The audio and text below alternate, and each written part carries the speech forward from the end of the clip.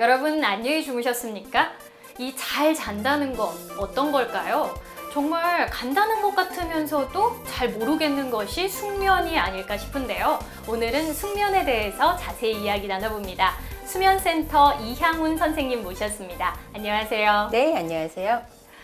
네, 정말 푹 자고 일어나는 것 누구나 바라지만 생각보다 잘 되지 않거든요. 네. 이 잘 자는 숙면도 기준이 따로 있는 건가요? 네. 어, 우리가 잠을 자는 동안 똑같은 상태로 있는 것이 아니라 잠에도 단계가 있고 순서가 있습니다. 네. 어, 그래서 꿈을 꾸는 단계인 렘 수면과 꿈을 꾸지 않는 비렘 수면으로 크게 나눌 수가 있는데요. 비렘 수면은 다시 얕은 잠에 해당되는 수면 1, 2기와 깊은 잠에 해당되는 서파 수면으로 나누게 됩니다. 우리가 보통 잠이 들게 되면 처음에는 얕은 잠을 거쳐서 깊은 잠으로 이어지는 비렘 수면부터 시작하게 되고 한 번의 단계가 한 1시간 반 정도이고 전체 잠을 자는 동안에 한 다섯 차례 정도 반복되게 됩니다. 얕은 수면에는 어, 우리가 이제 그 근육이 이완되고 느슨한 상태로 육체적인 휴식을 취하게 되는 단계가 되겠고요. 또 이제 서파 수면, 깊은 단계의 수면에는 여러 가지 중요한 에너지 대사나 기억 저장이나 뭐 성장 호르몬 뭐 이런 여러 가지 이제 분비 그 어, 생체 활동이 일어나게 되고 또 꿈을 꾸는 동안에는 어, 낮 동안에 쌓였던 정신적인 스트레스를 푸는 이런 어, 중요한 기능들이 있기 때문에 각 단계의 수면이 적절하게 배열이 되어야만 배합이 돼야만 어, 숙면을 취했다고 볼 수가 있습니다. 우리가 잠하면 또 많이 하는 이야기가 지난주에 잠을 못 잤으니까 주말 동안 좀 보충해야겠다, 푹 자야겠다, 뭐 이런 이야기 많이 하잖아요. 네. 실제로 이렇게 몰아서 잠을 자면 좀 도움이 될까요? 네, 안타깝게도 잠은 저축이 되질 않습니다.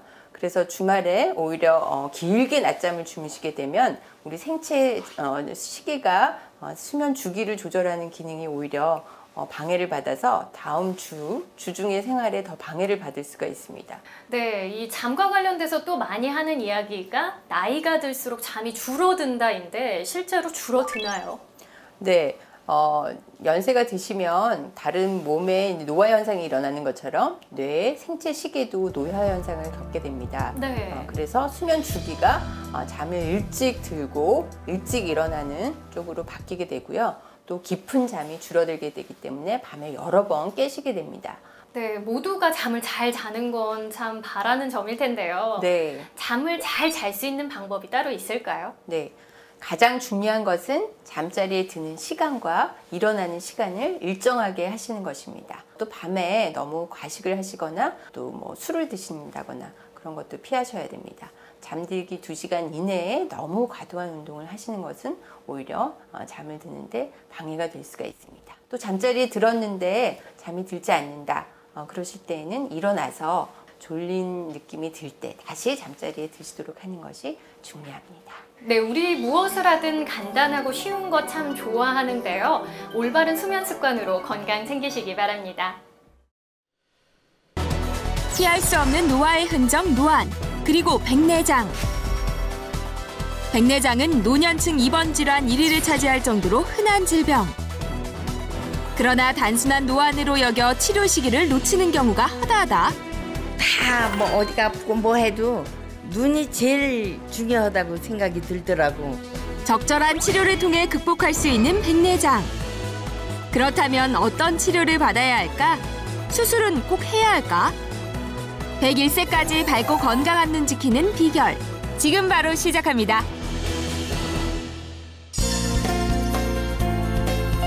안녕하세요. 101세의 프로포즈 건강지킴이 아나운서 전준입니다. 오늘은 많은 분들이 노화 과정에서 겪고 있고 그래서 관심이 높은 노인성 질환, 백내장에 대해서 알아보겠습니다. 먼저 도움 말씀 주실 두 분 선생님 소개해드립니다. 주천기 선생님 어서 오세요. 안녕하세요. 네, 101세의 프로포즈 주치이시죠. 정형외과 전문의 이수찬 선생님 어서 오세요. 안녕하세요. 네, 눈이 침침해서 병원을 찾았는데 백내장이라고 하면 굉장히 놀랍고 무서울 것 같아요. 이 백내장이란 질환이 정확하게 어떤 건가요? 예, 모형을 보면서 설명을 드리겠습니다. 예, 이것이 이제 눈의 단면도가 되겠는데요.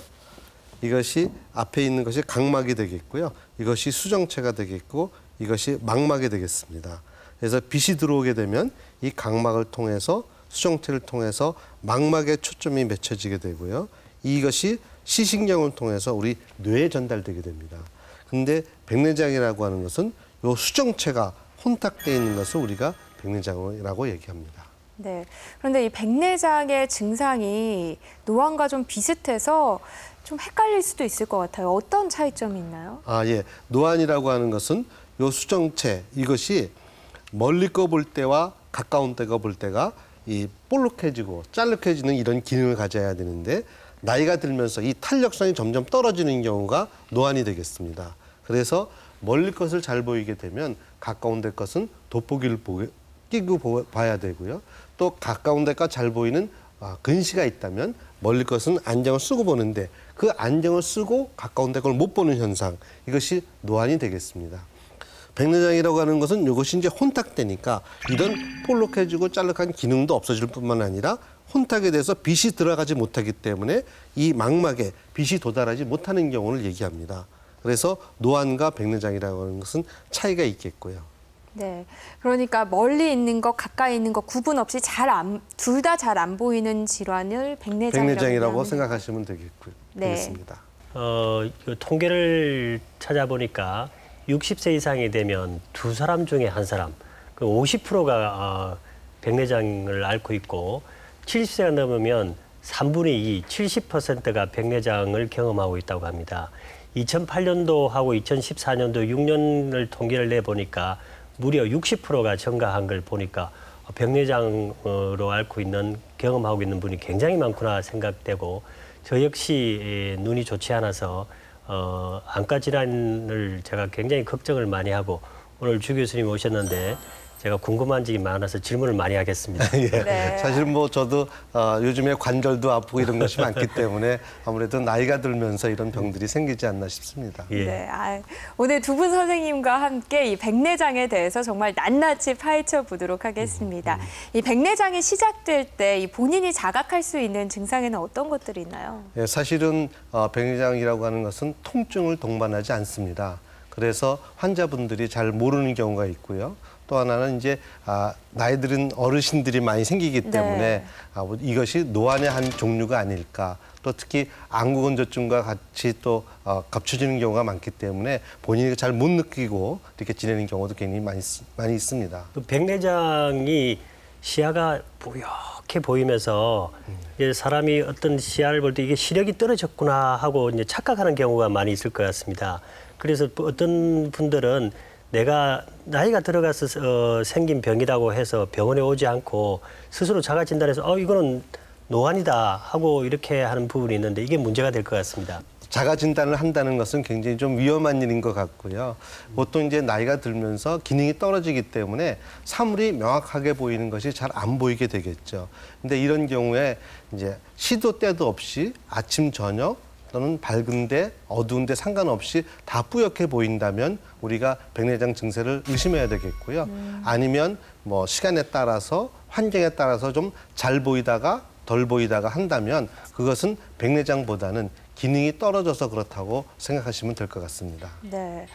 아니, 백내장이 노화에 따른 증상이긴 하지만 백내장이 좀 잘 올 수 있는 질환을 가지신 분들은 따로 계실 것 같기도 해요.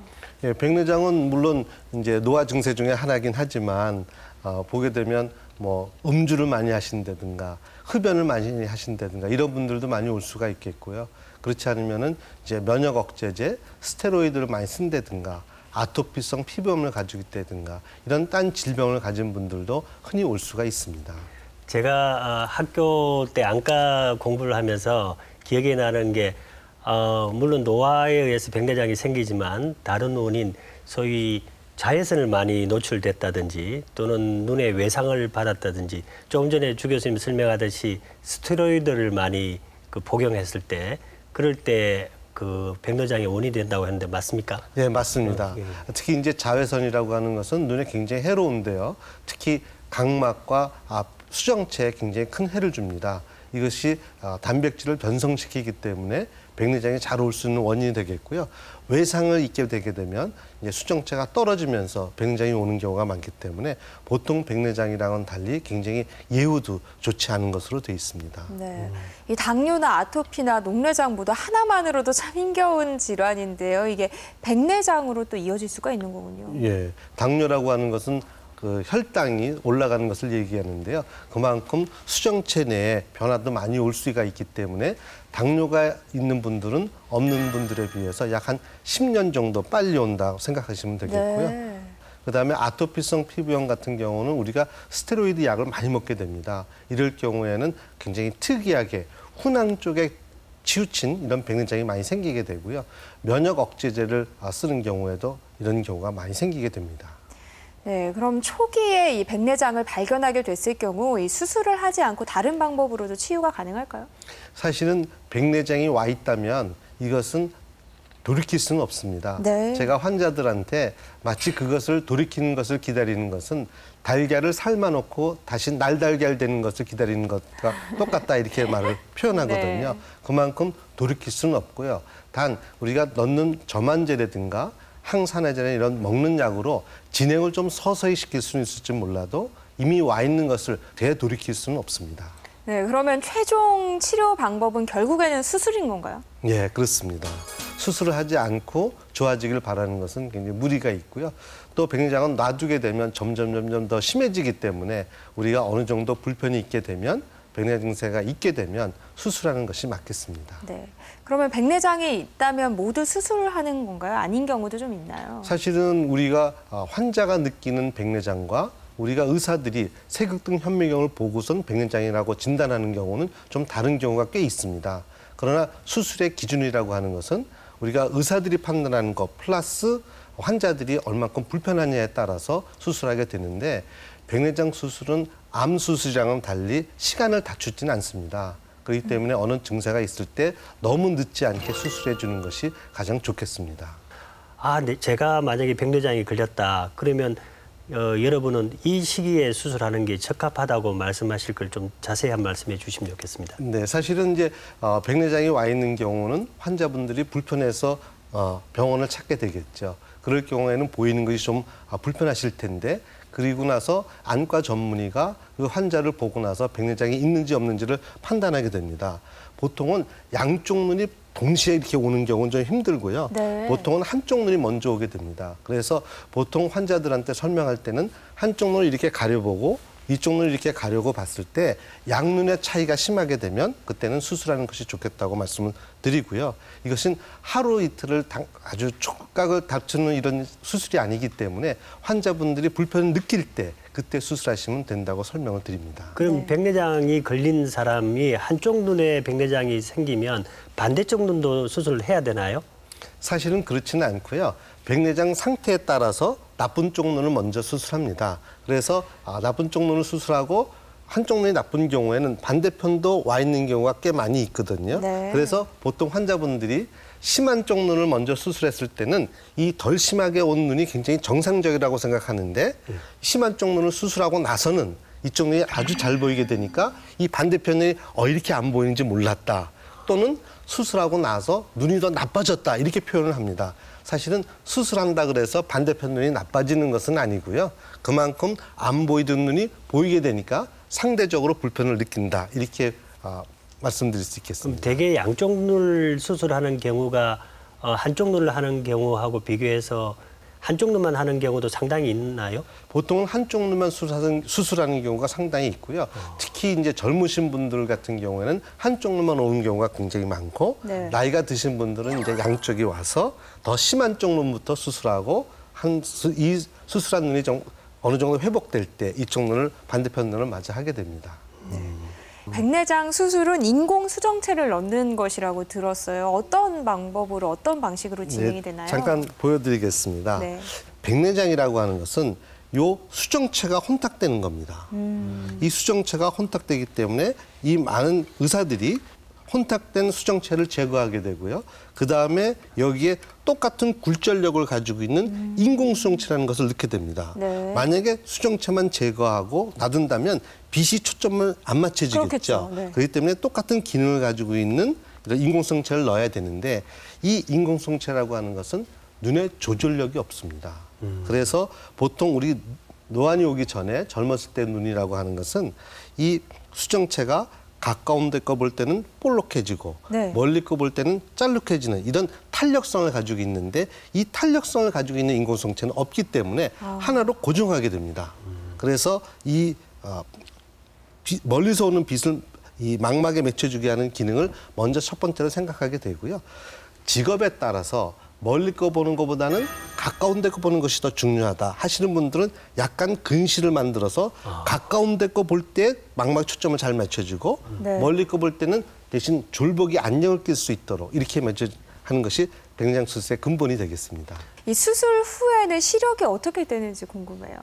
사실은 수술하고 나서 시력은 굉장히 좋아질 수가 있습니다. 왜냐하면 혼탁된 것을 다 제거하기 때문에 빛은 잘 들어오겠죠. 문제는 이 인공수정체의 도수를 얼마큼 잘 정하느냐가 굉장히 중요한데요. 아, 멀리 걸 잘 보게 해주면 가까운 데 건 좀 덜 보이고 돋보기에 도움을 필요하는 것이고 가까운 데 것을 잘 보게 해주면 멀리 거 볼 때 졸보기에 도움을 필요로 하게 됩니다. 이것이 일반적인 경우가 되겠고요. 그러나 이제 다초점 인공성체를 넣는 경우에는 조금 다를 수가 있습니다. 멀리 걸 잘 보이게는 멀리 거가 100점, 가까운 데 건 30점으로 되고요. 가까운 데 거가 잘 보이게 되면 가까운 데 거가 100점, 멀리 거가 30점이 됩니다. 그래서 반드시 안경이나 돋보기 도움을 필요로 하게 되는데요. 이럴 경우에 이런 것이 귀찮거나 싫은 경우에는 네. 다초점 인공성체라는 걸 넣을 수가 있습니다. 네. 이 인공성체 대신 초점이 여러 개가 맺혀져 있는 아, 인공성체가 되겠는데요. 보통은 멀리 거 가까운 거 가까운 데거 또는 멀리 거 중간 거 가까운 데거 이렇게 나누게 됩니다. 그러나 빛에 들어오는 양은 일정하기 때문에 이렇게 나누는 경우에도 멀리 거도 100점 가까운 데 거도 100점은 아니고 점수를 매긴다면 멀리 거도 80점 가까운 데 거도 80점 정도 됩니다. 교수님, 그, 이게 그 백내장을 수술을 안 하신 분이 대부분이실 것 같은데도 이게 백내장 수술을 어, 했다고 치고 네. 그러면 이 수술을 하고 난 다음에 일상생활에 어떤 주의해야 될 점 이런 게 있나요? 보통 수술하고 나서 우리가 꼬매지는 않기 때문에 아, 일정 기간은 조심을 해야 됩니다. 일정 기간은 누르거나 어떤 딴 이물질이 들어가면은 문제를 일으킬 수가 있기 때문에 보통 한 달에서 두 달 정도는 조심을 하고요.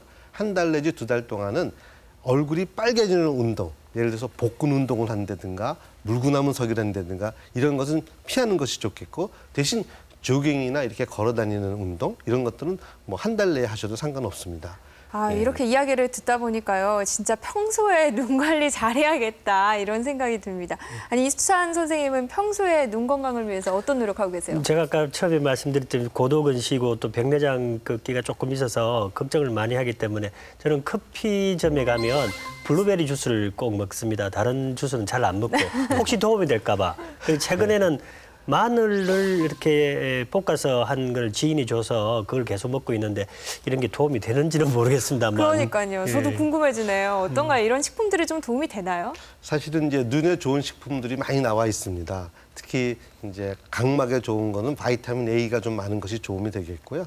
특히 이제 수정체에는 백내장 예방에는 예를 들어서 뭐 항산화제라든가 멀티바이타민 좋은 것으로 돼 있고 망막은 루테인이 많은 뭐 아, 달걀의 노른자라든가 아니면 블루베리라든가 이런 것들이 굉장히 녹황색 채소 뭐 이런 것들이 굉장히 도움이 되겠습니다.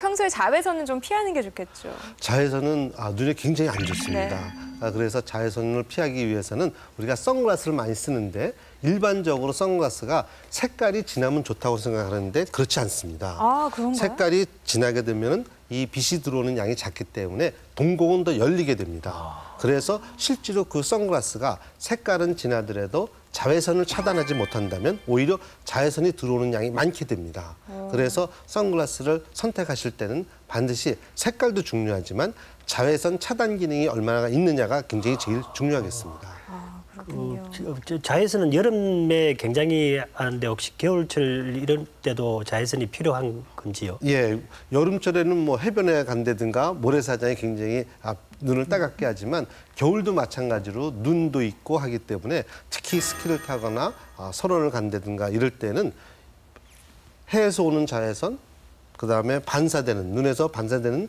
이런 자외선이 또 있기 때문에 그때는 굉장히 조심해야 됩니다.